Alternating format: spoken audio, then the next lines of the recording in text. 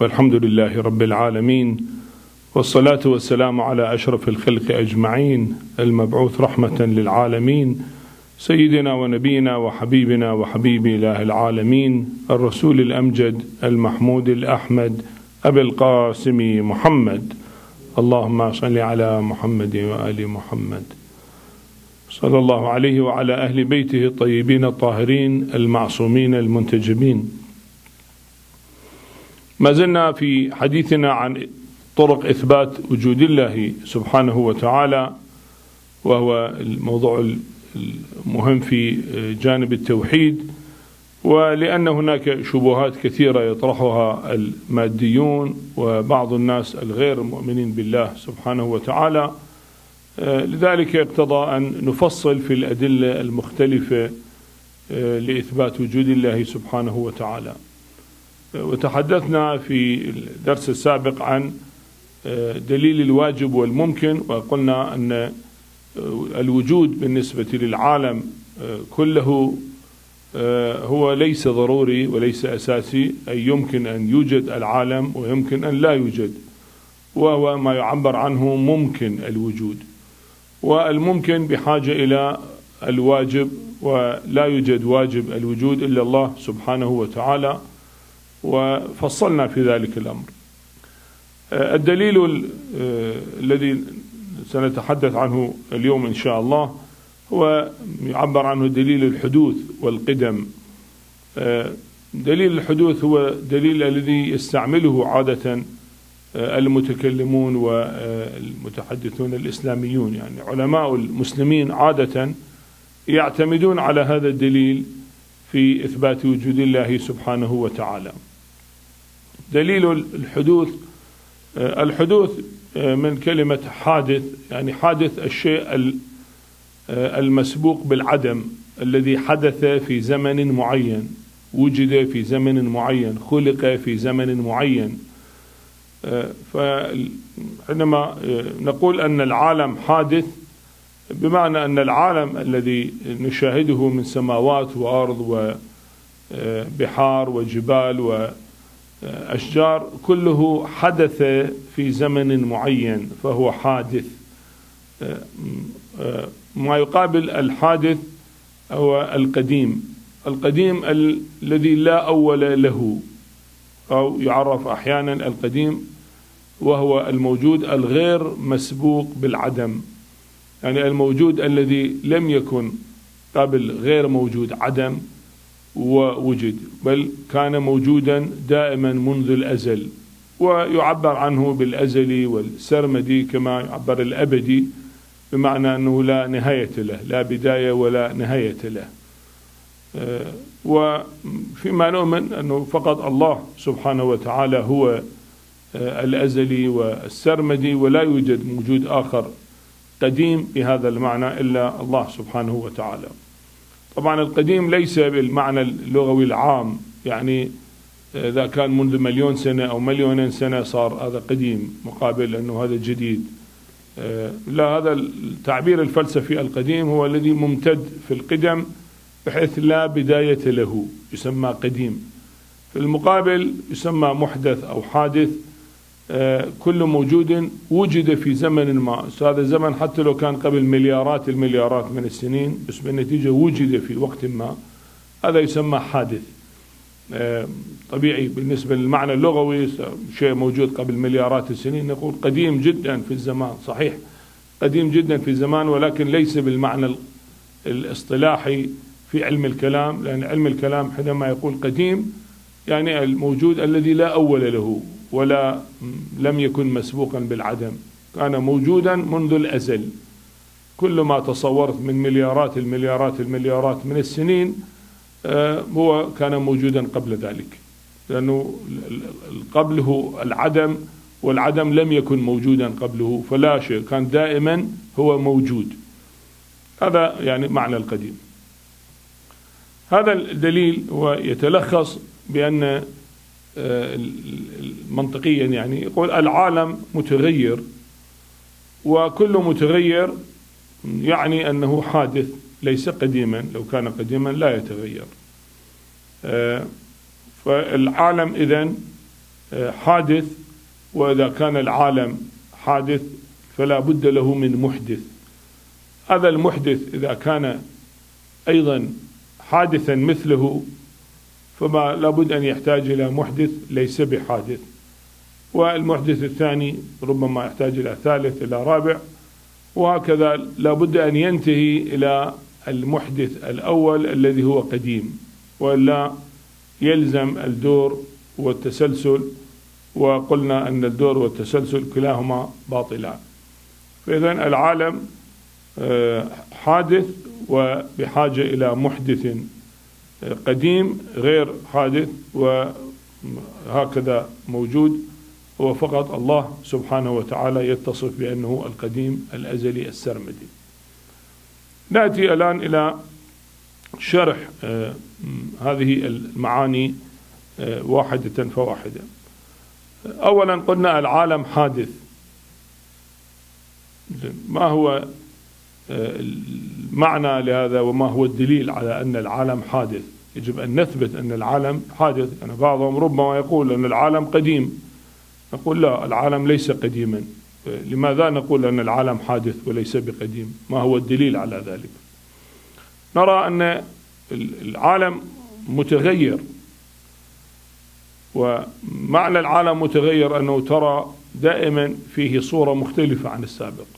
هذه الصورة ممكن بتأثير الزمان يتغير بالزمان. أنا الآن وجودي الآن غير وجودي بالأمس وغير وجودي غدا بل وجودي قبل ثانية غير وجودي الآن وغير وجودي بعد ثانية. نتيجة الزمان يؤثر علي. كذلك المكان يؤثر. قد أكون في هالمكان أنتقل من مكان إلى آخر. فإذا أنا متغير. صفات العالم كلها من سماوات أراضين شمس قمر بحار أشجار نباتات الأوراد الأنهار الإنسان الحيوان النبات كله يتغير باستمرار. وهذا التغير جزء من آه، ما نشاهده من طبيعة الأشياء. الشمس مرة مشرقة ثم يكون منتصف النهار ثم تغرب فإذا مكانها يتغير. الأرض متحركة. النباتات تنمو في كل دقيقة كل ثانية هي تنمو بدرجة أو تموت. وتخرج غيرها من النباتات الأنهار تسير المياه تسير من مكان إلى مكان. تتحول من ماء إلى آه، بخار إلى مطر. ثم تنزل مرة ثانية بشكل جليد أو بشكل مطر أو ما شاكل. هذه كلها من علامات التغير. الإنسان يبدو يبدأ طفلا ثم يكبر يكون شابا وبالغا وكبيرا وكهلا ثم يموت. فلم يكن موجود ثم وجد ثم يموت. هذا علامة على الحدوث. ولو آه، آه، نظرنا لموجودات الكون كلها آه، فنرى أن التغير جزء من طبيعتها أنها متغيرة باستمرار. كل شيء يتغير. هذا العالم المادي الذي نحن فيه يتغير بتغير على أقل تقدير الزمان والمكان. العالم يتحرك فيتغير بتغير الزمان وتغير المكان. فالعالم إذا متغير ليس ثابتا. المتغير معنى ذلك أنه حادث أنه طبيعة القديم لا يتغير. القديم يبقى منذ القدم كما هو لا يتغير ولا يتبدل. ولو فرضنا نظريا أي نوع من التغير للقديم نظريا فقط للتفكير فمعنى ذلك أن هذا التغير سيحدث في القدم لأنه موجود منذ المليارات المليارات ما لا نهاية من السنين. إذا كان منذ الما لا نهاية العالم موجود فما يفترض من تغير فيه يجب أن يحدث في الما لا نهاية. يعني لو نريد أن نفترض خط معين بداية الكون نظريا يعني خط وهمي للزمان وهو القديم موجود قبل الزمان ولا يحده الزمان لأن الزمان بالنتيجة محدود الزمان يتولد من حركة المكان مع وجود المكان يتولد الزمان. قبل المكان قبل المادة لا يوجد زمان. فهو موجود. فلو فرضنا أي تغيير يحدث لنفترض كل تغيير الإنسان نقول أنه منذ أن يولد إلى أن يموت عمره مثلا سبعين سنة فالتغير فيه بالحياة والموت بعد سبعين سنة غير؟ أو نقول أن المدن تنمو الحضارات تنمو عمر الحضارات عادة ألف سنة ألفين سنة ثم تتبدل الخلافات المختلفة أو الحضارة الفرعونية الحضارة الرومانية الحضارات الحكومات الإسلامية أو الخلافات مثلا فإذا عمرها ألف سنة ومسبوقة قبل ألف سنة مو موجودة. أما إذا فرضنا قبل الزمن فأي تغير يتصور بالذهن أو بالبال؟ فمعناته أن يحدث ما قبل الزمن في الما لا نهاية. لذلك حينما نراه نراه ثابت لا يتغير. هذه من صفة القديم أنه لا يتغير. أصلا قلنا أنه لا يمكن أن يتغير. كونه قديم. لو طرأ عليه التغير صار محدثا. محدثا. هذا المثال فقط ضربت لتقريب الفكرة. كيف أن القديم لا يتغير؟ لأن هو صفة القديم أنه وجوده نابع من ذاته فلا يتغير. هو موجود كما هو. التغير يطرأ على الحادث الأمور التي حدثت يعني كانت في العدم ثم خلقت. وهذا حدث شيء. كانت صغيرة ثم كبرت. كانت كبيرة وتقسمت فصغرت. وكانت حارة بردت كانت باردة صارت حارة وهكذا. هذا التغير هو طبيعة الحادث الأمور الموجودات التي هي حادثة أو محدثة كما قلنا. أما القديم فيبقى هو قديم كما هو بدون تغير. لا يتصور فيه التغير. وقلنا لو نريد جدلا أن نتصور التغير فأي تغير هذا سيحدث في ما لا نهاية من السنين. ما لا يبقى لأنه القديم قلنا موجود منذ الما لا نهاية. فأي تغير منذ الما لا نهاية؟ تتصور التغير يحدث بعد مليار سنة فهو موجود قبل المليارات المليارات والتغير حدث لو تصورنا إمكانية التغير للقديم. هذا لتقريب الفكرة تقريب المعنى أنه معنى القديم. فالقديم إذا مقابل للتغير لأنه موجود منذ الما لا نهاية من السنين. العالم ليس كذلك. العالم متغير نراه متغير. آه، السماوات الأرض الكواكب النجوم كلها متغيرة. فإذا المتغيرة هي حادثة. وإذا كانت حادثة بحاجة إلى محدث إلى من يخلقها. إذا كانت موجودة العلة التي خلقتها مثلها حادثة فنقول من خلق العلة الثانية؟ يعني أنا موجود حادث لست بقديم. العلة التي أوجدتني أبوي على سبيل المثال وأبوي أيضا محدثين ليسوا بقدماء. علة أبوي جدي علة جدي أبوي جدي وهكذا. يتسلسل إلى أن نصل إلى آدم عليه السلام على سبيل المثال. فإذا ممكن أنه حادث ولكن سببه حادث آخر علته. وعلة الحادث الآخر حادث ثاني وثالث ورابع. يتسلسل افرض إلى ألف أب ثم يصل إلى آدم عليه السلام على سبيل المثال. طيب آدم عليه السلام من علته؟ بالنتيجة لا يمكن أن يتسلسل إلى المالانهاية لابد في البداية هنالك علة غير حادثة أوجدته. لو كان كل العلل حادثة لكان لما وجدت وصار التسلسل قلنا التسلسل باطل. لو تسلسل إلى المالانهاية معناته لا توجد بداية. إذا لا توجد بداية لا توجد ما بعد البداية وما بعد البداية لا يوجد لا يوجد ما بعده وهكذا فإذا النهاية لا توجد. يعني لو افترضنا أن آدم عليه السلام غير موجود فابني آدم أيضا غير موجودين وحفيدي آدم غير موجودين وهكذا إلى النوبة لي أنا أكون أيضا غير موجود. لو لم يكن آدم عليه السلام موجودا أنا ما راح أكون موجود. إذا لابد أن ينتهي إلى الواحد الذي بدأ وهو غير حادث. آدم عليه السلام طبعا حادث الله أوجده الله غير حادث. لكن أقول تقريب المثال إلى الذهن أن الأمور الحادثة لا يمكن أن تستمر بالتسلسل إلى ما لا نهاية. أو أن يكون الدور كما قلنا أن الحادث سببه حادث آخر والحادث الآخر سبب هو سبب الحادث الأول. وهذا يؤدي إلى الدور وقلنا أن الدور والتسلسل باطلان. زين الآن إذا نتحدث بشكل تفصيلي أكثر عن إثبات حدوث العالم. هل هناك أدلة عقلية أو أدلة علمية أو أدلة قرآنية على حدوث العالم؟ أن العالم حادث مو قديم. ماذا يقول العقل وماذا يقول العلم الحديث عن خلق العالم وماذا يقول القرآن الكريم؟ آه، هذه ثلاثة آه، يعني آه، أدلة ممكن أن تساق. الأدلة العقلية في أن العالم حادث أن العالم أولا أن العالم يقبل الوجود والعدم. لو كان العالم قديما لكان واجب الوجود وما يقبل العدم. أما العالم لما كان ممكن الوجود معناته يقبل الوجود ويقبل العدم. فإذا كان يقبل الوجود ويقبل العدم وكان قبل عدما فصار موجودا.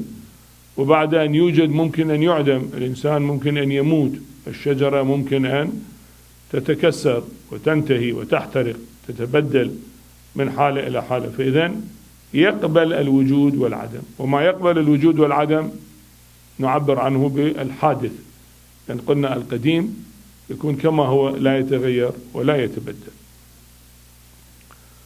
الدليل الآخر من الأدلة العقلية هي سؤال أن الحصر العقلي الموجودات إما أن نقول كلها حادثة الموجودات أو بعضها حادث وبعضها قديم أو كلها قديمة. واحد من ثلاثة احتمالات. لو قلنا كلها حادثة فالسؤال من أين وجدت؟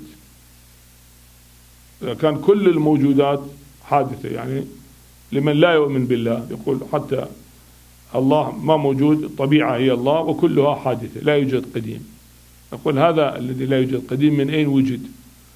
قانون السببية موجود نؤمن أنه لكل علة لكل معلول علة فالعالم معلول هذا الحادث معلول كان غير موجود ثم وجد. فمن أوجده؟ فنقول أن كل الموجودات حادثة لا يمكن لابد موجود واحد قديم الذي أوجد هذه الموجودات. زين. نقول كل الموجودات قديمة. احتمال الثاني. هذا أيضا لا يمكن لأن نرى أن الموجودات كلها متغيرة. والمتغير قلنا من صفة الحادث وليس من صفة القديم. فالموجودات إذن حادثة وليست قديمة. هذا لا يمكن. يبقى الاحتمال الثالث أنه بعض الموجودات قديم وبعضها حادث وهو ما نقوله. القديم هو الله سبحانه وتعالى الموجود القديم فقط هو الله سبحانه وتعالى والموجودات الحادثة هي باقي المخلوقات ما سوى الله سبحانه وتعالى كله خلق بقدرة الله سبحانه وتعالى. الدليل العقلي الثالث هو أن أجزاء العالم آه، يفتقر بعضها إلى البعض الآخر لغيرها. الأجزاء محتاجة إلى غيرها والمحتاج حادث لأن الغني يبقى كما هو بدون حاجة. أما أجزاء العالم بعضها يحتاج إلى الإنسان يحتاج إلى الطعام إلى الشراب الحيوان يحتاج إلى الطعام النبات يحتاج إلى الماء. ويحتاج إلى أجزائه. الإنسان حتى يستطيع أن يقف يحتاج إلى رجليه وإلى آه، عضلات ظهره وإلى العمود الفقري وما شاكل النبات. يحتاج إلى آه، الساق والجذر حتى يبقى مستندا. وهكذا يحتاج العالم إلى أجزائه لكي يبقى متماسكا. كل شيء بدون تماسك أجزاء يتناثر ينتهي. فهو يحتاج بعضه إلى بعض. وهذه الحاجة تولد آه، أنه آه، محدث وليس قديما. بل لو كان قديم كانت تنتفي الحاجة. ولكن هذه الحاجة طارئة. ينمو يكبر يصغر وهكذا فيحتاج إلى الأجزاء باستمرار. ومعنى ذلك أنه ليس قائما بذاته بل محتاج لغيره. ومحتاج لغيره هو الحادث. أما القديم قائم بذاته موجود كما هو منذ القدم لا يحتاج إلى شيء. هذا الدليل الثالث. الدليل الرابع آه، وهو بيان استحالة وجود حوادث لا أول لها باعتبار قانون السببية والعلية. قلنا لكل سبب مسبب ولكل معلول علة. فالعالم كونه موجود ونراه ونشاهده ونشعر بوجوده لا ننكر وجوده فلا بد لوجوده من سبب وهذا السبب إذا كان مثله حادثا قلنا سوف يؤدي إلى الدور أو التسلسل فلا بد أن ينتهي إلى موجود غير حادث أي موجود قديم. إذن الأدلة العقلية والأدلة الفلسفية كلها تدل على أن العالم حادث آه، وليس قديما والحادث بحاجة إلى محدث. ماذا يقول العلم الحديث عن هذا المعنى؟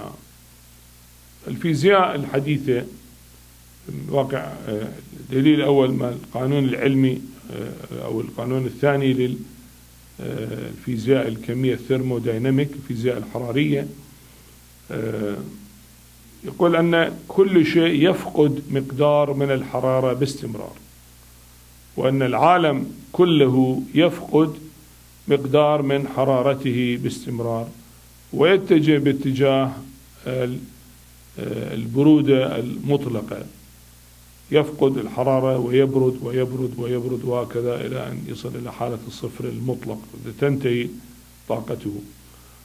معنى ذلك أن العالم آه، متغير ومتغير باستمرار باعتبار أنه يفقد مقدار من حرارته. الشمس آه، يقدر العلماء لها آه، وزن معين وحجم معين ويقال بعد كذا مليون من السنين ستنتهي حرارة الشمس لأن الشمس يوميا تفقد آلاف الأطنان من آه، كميتها بسبب الانفجارات المتكررة التي تعطي هذا النور العظيم نور الشمس.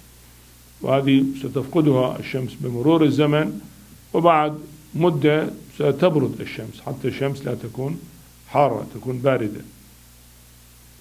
هذا آه، قول العلماء. فإذا القانون الثاني للفيزيائي للثرموديناميك الفيزياء الحرارية آه، تقول أن الأجسام تفقد حرارتها باستمرار وتبرد تدريجيا. معنى ذلك أنها حادثة أنها ليست قديمة لأنها متغيرة بفقدان الحرارة.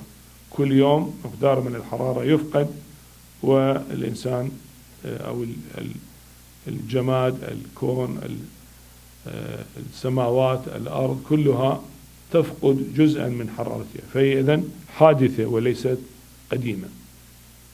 هذا قانون الموضوع الثاني نظرية الانفجار العظيم آه، ال Big Bang المعروفة التي تقول أن العالم آه، بدأ من نقطة معينة ثم بسبب انفجار أو أحيانا يعبر عنه هذه الأيام بالتوسع توسع عظيم وتمدد العالم بشكل كبير جدا فتوسع وصار هذا الكون كله من ذلك معنى ذلك معنى هذه النظرية أن العالم حادث أو قديم ماذا تعني؟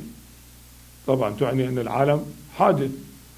تقدر نظرية التوسع العظيم أو الانفجار العظيم بأن عمر العالم 14 وستة بالعشرة مليار سنة. بدأ وحدث توسع من تلك السنة فإذا قبل 15 مليار سنة مثلا ما كان موجود العالم. من 14 6 بالعشرة توسع بدأ التوسع فبعض النظريات الحديثة تقول أكثر من هذا ربما 18 أو 19 مليار سنة. مو مشكلة 19 20 30 50 مليار سنة. للعلم الحديث أن يقدر ما يشاء من السنين. بالنتيجة كما قلنا بدأ العالم بوقت معين. بدأ هذا التوسع وهذا الانفجار آه، كما قلنا بوقت معين. ومعنى ذلك أن العالم حادث وليس قديما. قبل هذه المدة لم يكن العالم كله هذا العالم المادي الذي نراه لم يكن موجودا. ولكن وجد في تلك اللحظة لحظة الانفجار العظيم أو التوسع العظيم وبدأ بالتوسع تدريجيا واستمر بالتوسع. وما زال الآن في التوسع ويبتعد بعضه عن البعض الآخر. المجرات والكواكب بسبب التوسع يبتعد بعضها عن البعض الآخر. وهذا التوسع مستمر إلى أن يصل إلى درجة كما يقولون وينتهي الزخم الذي كان موجود في البداية وأعطى هذه القدرة والطاقة على التوسع. ينتهي فينكمش العالم من جديد يسمى الانكماش العظيم. أي يرجع العالم يصغر ويصغر ويصغر إلى أن يصل إلى آه، درجة الصفر المطلق. يكون فيزيائيا لا حجم له لا كمية له. يعني يرجع إلى العدم بالتعبير الآخر. التعبير الفلسفي أو العقلي بدأ العالم من العدم من الصفر المطلق ما كان شيء عدم. وفي هذه اللحظة بالذات لا يعلمون لماذا في هذه اللحظة حدث هذا الانفجار العظيم على تعبيرهم أو هذا التوسع. عالم كان آه، شيء صغير نقطة معينة اللي هو يقبل الصفر الفيزيائي. يعني صفر بمعنى لا شيء بتعبيرنا العلمي. كان لا شيء ثم وجد ووجدت به طاقة هائلة بحيث توسع العالم فكون كل هذا النظام الموجود. وهذا ما نقوله نقول العالم حادث حدث منذ زمن معين بحاجة إلى محدث.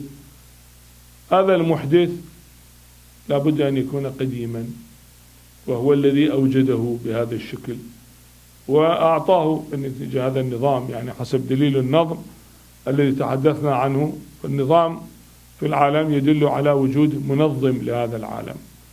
العالم كما قلنا ممكن الوجود ولذا كان معدوما ثم وجد ويحتاج إلى موجود واجب الوجود لكي يعطيه الوجود.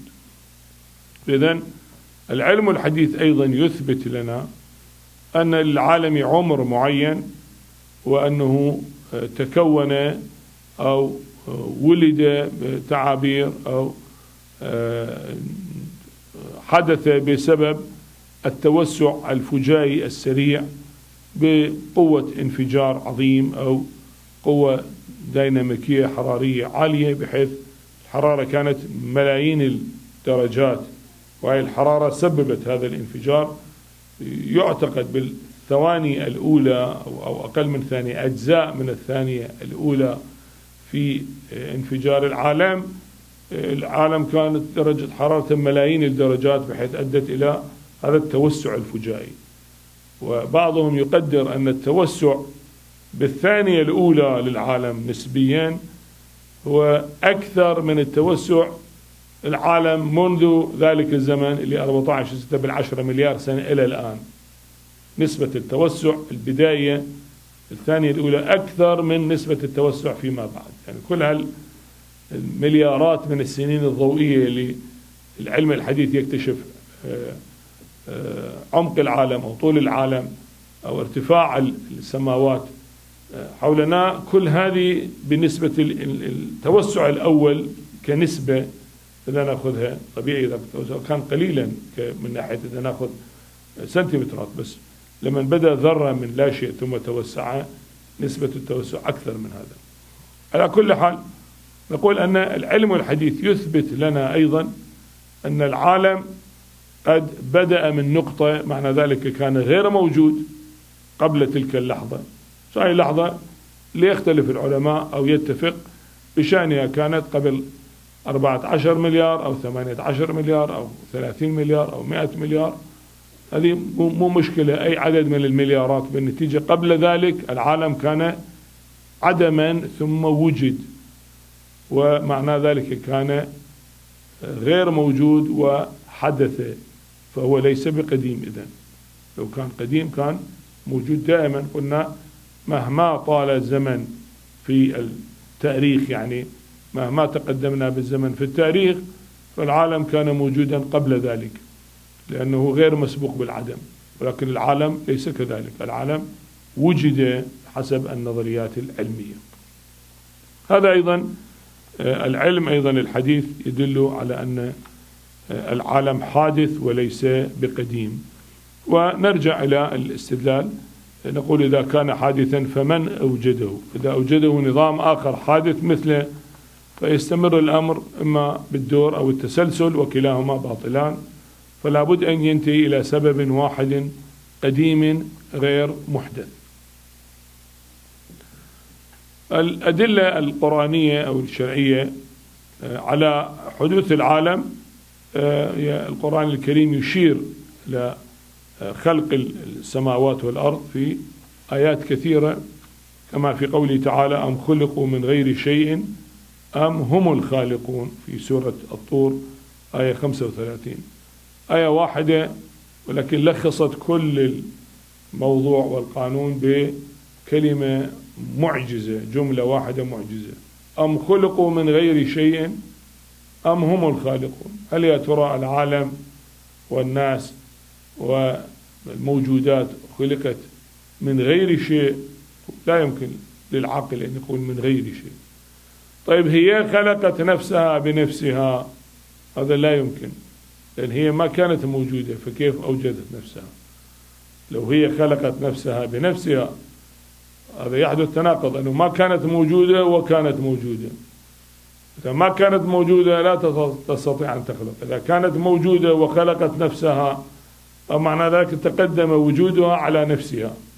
هي كانت موجودة قبل وجودها لا يمكن تقدم الشيء على نفسه فإذا لا يمكن ذلك. يقول هذا معنى الدور. ولا يمكن التسلسل كذلك أن نقول به أنه كانت موجودة بوجود آخر وجود آخر بوجود آخر ويستمر إلى الملانعة بالنتيجة بداية السلسلة يجب أن تكون لموجود غير مسبوق بالعدم وهو القديم وأوجد الأشياء. القرآن الكريم يثير تساؤل فطري وعقلي وحسي عند الإنسان بآية واحدة وهي معجزة وكل آيات الله سبحانه وتعالى معجزة. قل أم خلقوا من غير شيء أم هم الخالقون؟ أيهما يجيب الإنسان؟ العاقل لا يمكن أن يقول خلقت من لا شيء.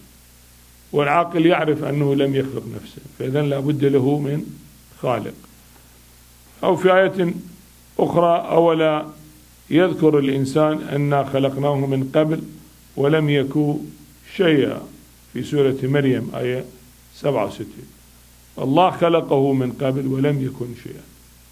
وفي سورة الدار ألا على الإنسان حين من الدهر لم يكن شيئا مذكورا. فما كان شيء ولكن الله سبحانه وتعالى خلقه وبقي متغيرا وحادثا بعوامل المختلفة. أو في وصف الخلق كما في قوله تعالى ولقد خلقنا الإنسان من سلالة من طين ثم جعلناه نطفة في قرار مكين. فأول خلق من سلالة حدث من سلالة ثم صار تغير آخر نطفة جعله في قرار مكين ثم خلقنا النطفة علقة فخلقنا العلقة مضغة فخلقنا المضغة عظاما فكسونا العظام لحما. ثم أنشأناه خلقا آخر فتبارك الله أحسن الخالقين. في سورة المؤمنون آية الثانية عشر. إذا خلق الإنسان ثم تطور في الخلق من نطفة إلى مضغة علقة وكساه كسى العظام لحما. وهكذا يتغير الإنسان من حالة إلى حالة. فالإنسان إذا متغير وقلنا المتغير حادث وكذلك في خلق السماوات والأرض كما في قوله تعالى أولم يرى الذين كفروا أن السماوات والأرض كانتا رتقا ففتقناهما وجعلنا من الماء كل شيء حي. السماوات والأرض كانت رتق ثم فتقت. بعض الروايات تقول رتق يعني السماء لا تنزل المطر والأرض لا تنبت النبات. ففتقهم الله سبحانه وتعالى بمعنى أنزل المطر من السماء وأنبت الزرع من الأرض. وبقرينة وجعلنا من الماء كل شيء حي. هذا ممكن آه، أن يكون التفسير صحيح ولكن نعلم أن للقرآن ظهر وباطن وللباطن باطن إلى سبعة أبطن معاني متعددة. وربما كانت هذه الآية تشير أيضا إلى آه، ما يشير له العلم الحديث من نظرية آه، الانفجار العظيم أو التوسع الكوني. أن السماوات والأرض كانت واحدة الله فتقهم وكون منهم السماوات والأرض. ثم حينما خلق الإنسان أو الأحياء الإنسان والحيوان والنبات خلقهم من الماء وجعلنا من الماء كل شيء حي. فالمخلوقات الغير حية يعني السماوات والأرض هذه آه، كانت رتقا ففتقت وخلقت. وبسبب الماء وجد النبات والإنسان والحيوان كل شيء حي. هذه آه، بعض الإشارات والآيات الكريمة الكثير منها يشير إلى طبع أن الله سبحانه وتعالى هو خالق كل شيء ولا يوجد خالق غيره سبحانه وتعالى. هذا مختصر الحديث عن آه، دليل آه، الحدوث وقلنا أن العالم خلاصته العالم متغير ومعنى المتغير أنه يكون حادثا وإذا كان حادثا فهو بحاجة إلى محدث وهذا المحدث يجب أن ينتهي إلى محدث قديم غير حادث فإذا ننتهي إلى وجود الله سبحانه وتعالى وهو الموجود القديم واجب الوجود الغير حادث. والحمد لله رب العالمين وصلى الله على محمد وآله الطاهرين. اللهم صل على محمد وآل محمد.